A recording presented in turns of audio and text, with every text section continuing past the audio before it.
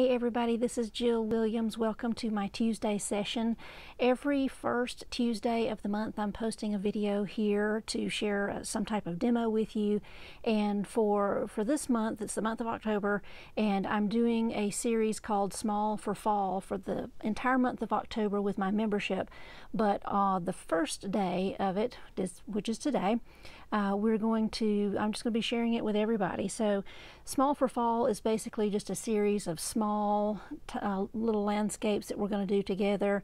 And the idea is that you can do some small pieces in preparation for the holidays coming up so that you've got some small pieces that are easy to do, quick to do, uh, and it just kind of gets you prepared for the gift giving season, okay? So, uh, everybody's invited to join me for this first one. And if it's something that you're interested in, definitely consider, you know, taking a look at my membership because then you can paint with me every single Tuesday. So uh, for today, though, let's go ahead and get started. I've got this beautiful little white, really high key snow scene. Uh, that's just really pretty, really soft. Uh, something that we're going to do today that can just make it a little bit easier. I know there's a lot of details there, but uh, we're just going to simplify and do sort of an abstract version of this and uh, it should be pretty simple. There is a uh, I guess you would call it like a, there is a lake or a creek or a river or something like that in the foreground. So that's why we're having that really straight line there. But um, you can modify that in any way you want if you want it to be more sloping or that type of thing. I'm just going to kind of go with what's here in the photo and you can modify in any way that you want. So, uh, so let's go ahead. I'm going to come over to the work area and let's get started. All right, so I'm going to start, I'm just going to use my ruler to just kind of give myself a little bit of a line. My, my vertical page here, this is 140 pound uh, cold press arches, and my sheet is just a little bit taller than the, you know, a little bit taller than the photo so um, you can kind of position it wherever you want to. I'm just going to give myself a little bit of a line and then just very lightly with pencil I'm going to kind of just draw the basic stems of the, the tree trunks here coming up just to serve as a guideline for myself later. You're definitely going to want a small rigger uh, type brush or a dagger brush, something that's going to give you a nice fine point so that you can kind of work through these things. But I'm just using my pencil to kind of establish some of the major lines that I'm seeing in the tree. And, and then I'm going to fill in the rest with paint. There's still a little bit of foliage on the trees, uh, not much at all, but we're going to do that with just a little bit of water misting and it just kind of makes quick work of, of all that. So I'm just going to kind of keep sketching here very lightly, getting these little tree forms in. And in just a second, I'll show you my little dagger brush. And also I've got a, a little thin rigger that I'm going to use as well. Very high key, very soft, subtle color all throughout. And I kind of like the fact that it's sort of grayish, purplish, kind of there's maybe a little bit of pink happening in there in the sky. Gonna kind of pick up on all of that as we go. So just using a very light hand with my pencil. Um, I just want it to be very soft. And just kind of marking in some of these major branch forms that I'm seeing out here.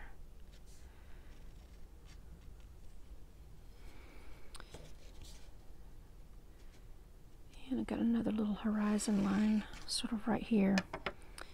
And there's some little branches or grassy bits. I'm not sure what's happening down there, but just a little bit is going on there. So very simple drawing, very, very simple. And I've kind of filled up the height of my page just a little bit more. This is half of a 9 by 12 sheet of paper, so it's a little bit larger than what would be a greeting card you know, if you're thinking about using some of these as greeting cards, this might be a little bit big, but this would still be a really nice size for, for gift giving. All right, so the first thing I'm going to do is wet my whole page to kind of start, you know, establishing some of this background color. So I'm just using a number 12 round. You can use a wash brush, whatever you might have on hand. And I'm just going to wet the sky area completely. Everything in the sky. I'm stopping short of that little ridge down at the bottom. There's like some a distant little bit of landscape or hillside. I'm not sure that's out there in the distance. And I'm just going to pick up the water um, back down here at the bottom as well. But I just left this little band dry right here. All right, got everything nice and wet right on top here.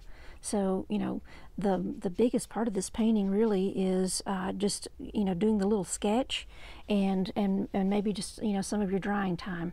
Uh, but other than that, it we can kind of work pretty quickly through this. So because I'm seeing that pink, that sort of pinkish peachy color, I'm getting into my hot pink. I'm using Opera Rose. And this is very, very, um, you know, in my photo, it's very, very pale. And Opera Pink is pretty intense, so I'm keeping it really saturated.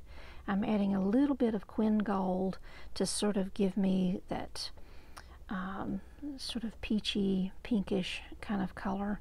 And I'm really going to saturate it with a lot of water. I want this to be very thin because it's such a pale, pale tone. And I'm seeing that pinkish color sort of up high, coming across sort of midway behind the, the trees here. And I'm just going to lay this in here. Bear in mind that the watercolor will dry a little bit lighter than what you're seeing. So you can kind of, you know, don't be afraid to add a little bit of color. I've left it really irregular on the top and the bottom. I'm just going to let the water kind of carry that and just let it do what it's going to do. Now, while uh, that's just sitting for a minute, I'm going to turn my attention down here to the bottom. And I left this area dry on purpose. Um, I really want that pigment to really bite and latch onto the paper. So I'm using, so I left it dry. I'm using uh, a Daniel Smith color called Rare Green Earth. I just love it. It's a very soft, earthy, grayish green that's very transparent.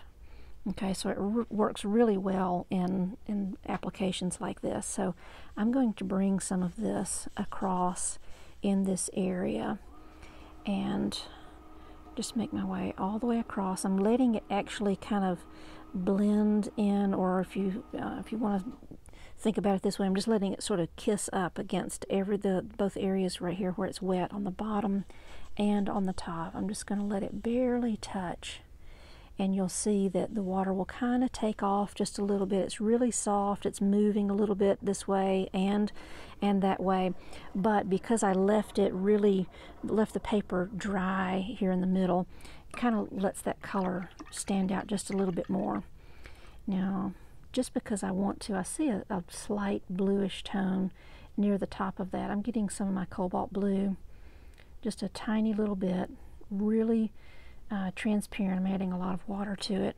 And I'm just going to kind of come in here and just maybe do a couple of little wisps of line just right across that just to add a little bit of a little bit of color and value uh, to the top of that area it's still continuing to move on both sides and I really I just like that effect and so I'm just going to keep that in into my landscape.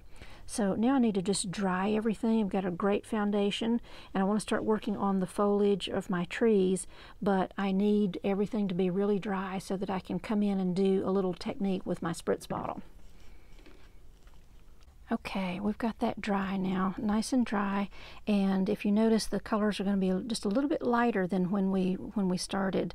Uh, make sure that you're adding, compensating for that just a little bit because the watercolors are going to be a little bit lighter when they when they dry. So now we're ready to kind of start working into the, the trees here. So what I want to do for these trees, you know, these trees are they're so so soft. And so I want to make sure I'm, I'm maintaining that throughout my painting. And so the two ways that I need to make sure I'm doing that is a very light value and a soft hand with my brushwork okay? So to keep those values soft we're going to be really transparent. That means adding lots of water to that particular pigment to make sure it's really light and just kind of working our way through it. So let's get started by mixing up our color that we're going to use. I'm going to stay with my rare green earth and the and add a little bit of purple to it. There's just sort of this purplish tone that I'm seeing, kind of a lavender, violet sort of tone. But but it is uh, it, it is dark though, so I want to go ahead and just get my color mixed up and have it ready to go. I'm using rare green earth. Uh, for this and I'm also going to get just a little bit of my purple. I'm using Winsor purple just a tiny little bit. And so you can see that's kind of pushing that gray green into that lavender spectrum. It's still, I'll, just, I'll pull some of that blue in here too. So it's just really this nice soft gray lavender kind of tone, just like we're seeing in the, in the photo. All right, so I want to keep that mixed up, ready to go, and I'm going to actually leave my brush loaded with that so that I don't so I don't uh, waste any of that. All right, so for up here in the trees, to really get that soft foliage, I'm going to take my spritz bottle, and there's a little bit of a trick to this. I do recommend using a spritz bottle like this from, uh, I got this like in the beauty section at, at Walmart. It's a little bigger than those little, uh, you know, finger style uh, bottles that are really tiny. The little tiny ones, they spray well, but they make such a perfect, even mist that you don't get really water droplets. And these will allow you to kind of get a little bit of water droplet just because you're not pulling the trigger all the way in and it'll kind of make an uneven spray. So these are perfect for that. All right, so let's get back over to the work area and I'm going to uh, start to use my spritz bottle to just, uh, I'm barely pulling the trigger and it allows me to create a really uneven um, deposit of water droplets all over the page. In fact, let me hold it up for you close to the camera so you can see. So you should be able to see, see all the little uneven water droplets that are there. Okay, that's, that's what I'm looking for and the larger, you know, the larger water bottle is definitely going to give that to me.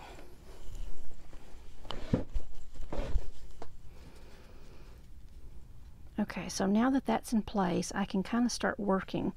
Um, I wanted to go ahead and get all of my color mixed up beforehand because now this, all these water droplets are here and I just want to kind of keep moving and not waste any time with mixing color. So I wanted to get that done uh, beforehand. So I'm switching over to my little dagger brush uh, just because it gives me a little bit of a point, um, still being able to carry a good bit of pigment here. And I'm just going to come into my painting with this purple and I'm going to start working. It's pretty, you know, it's it's dark, just like I'm seeing in my in my uh, photo. And I want to just start adding that right in here. I'm just following along with my drawing. And if you'll notice, see what happens when the, the paint interacts or comes in contact with some of the water droplets. It allows the pigment to just sort of take off and chase some of those water droplets. And you wind up getting these nice little uh, fuzzy marks that really kind of look like the foliage that's still sort of clinging to the trees. All right, so I just want to keep working and I'm keeping the pigment very light.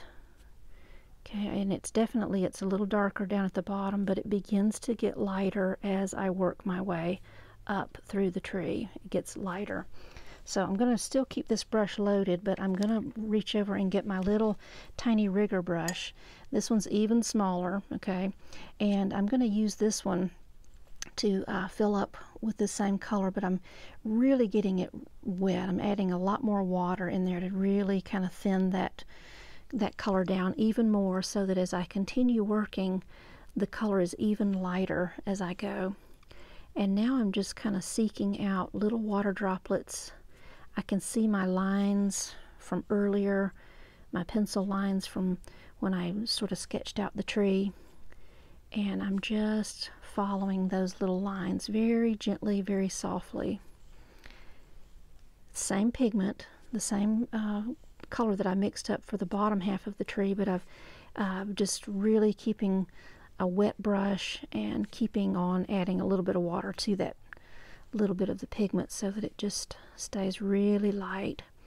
And I'm just going to keep working my way through And this tiny, tiny little rigger, it really does such a nice job with just keeping the keeping the strokes really tiny. So I'm just kind of working through. I want to work quickly and just start sort of, you know, grabbing this tree. If you get a little puddle of water, I see I've kind of formed one accidentally. I'm just going to use my towel to sort of wick that up. And then I'm just going to kind of keep going here. But you can see that it's really giving you these really soft features, just like what we're seeing in the photo. So I'm just going to keep working through.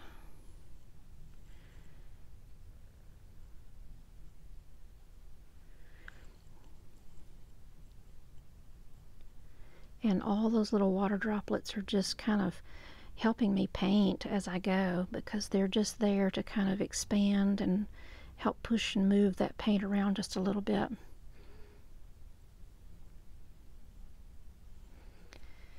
Okay, let me get started on the other trunk of this tree over here. So still just bringing some of that dark pigment in.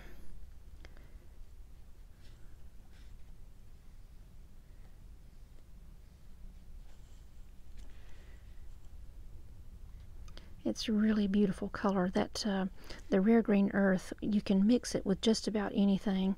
It has such a, a neutral quality to it and it mixes well with so many different colors and you can use it in with cool colors or warm colors it mixes really well to just create a nice variety for you it does such a good job with that anywhere that it's wet I can just sort of touch with my brush. Kind of got two brushes going at the same time here.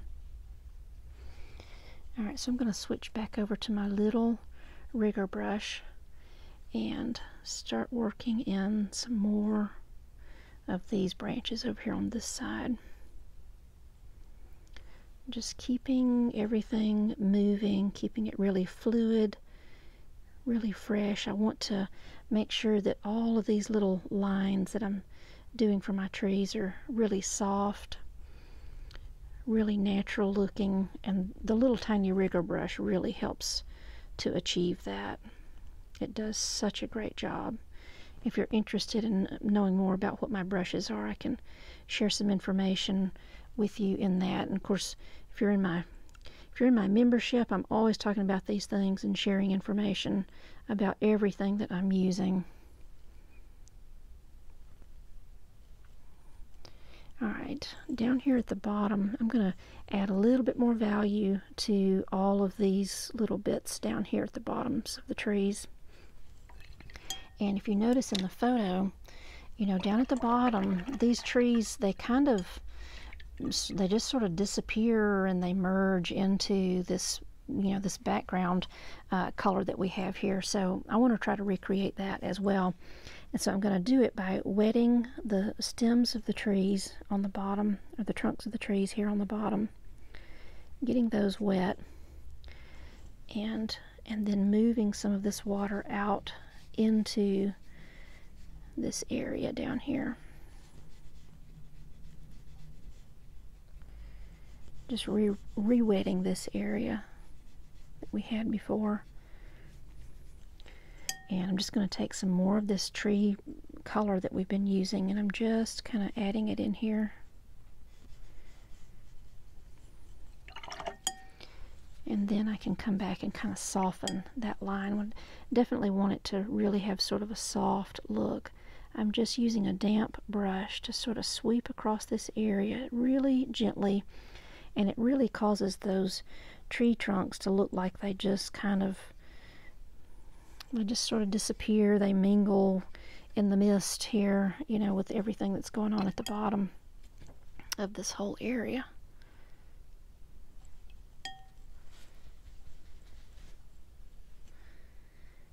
I'm using my dagger brush. I've really dried it off and I'm just using it almost like a little mop, a sponge to kind of come along and maybe pick up some little water droplet areas that are a little thick or heavy or seem too dark or out of place.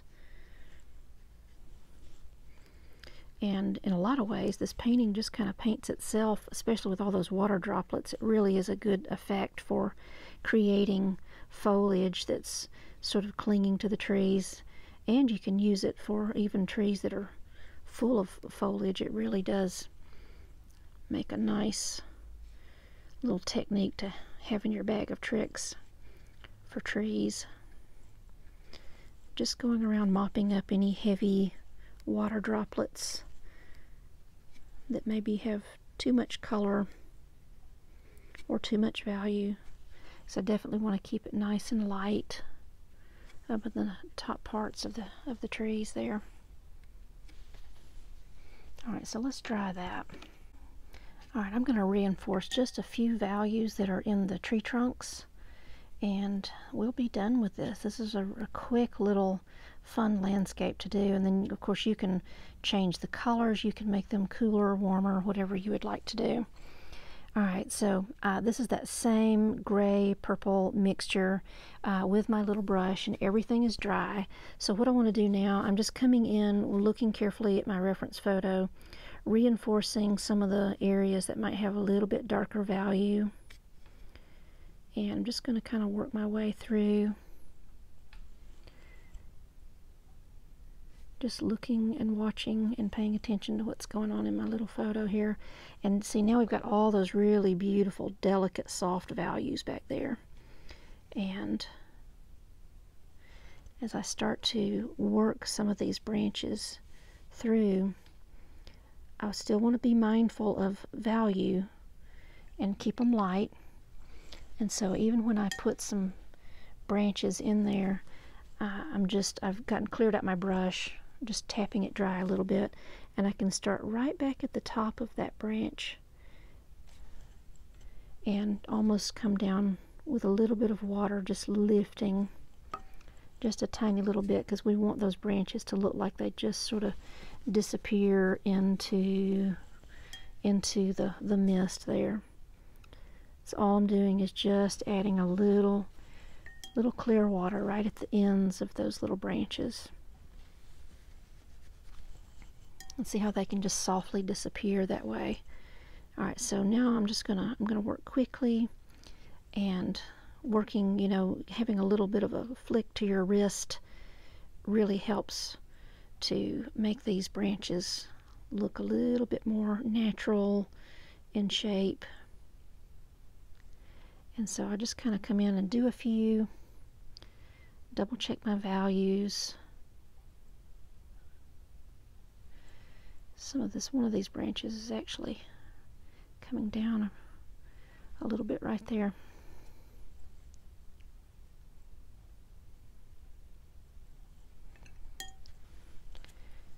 Few more little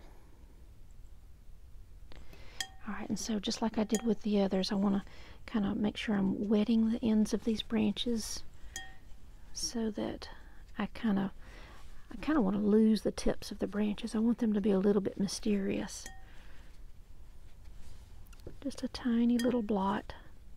I'm not rubbing it all with my towel, just a little blot.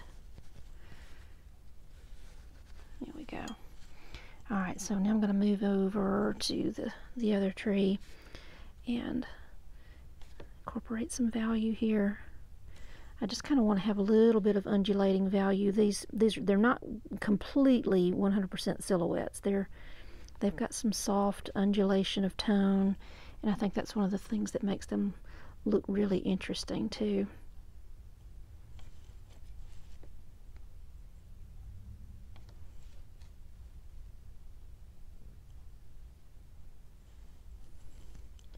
Alright, so just working through my little branches here. This little rigger really gets the job done. If you're, you know, if you're a landscape painter especially, you're going to be needing tiny little branches and this little rigger and my dagger brush together they really get the job done. I've been using these for years and they do not disappoint. Alright, so like before, I just kind of want to wet. This is just some clear water. Just wetting the ends of those branches. I really want them to sort of mysteriously disappear into the mist. Keeping this very, very soft. This whole composition is just such a soft, high key, very, very light value.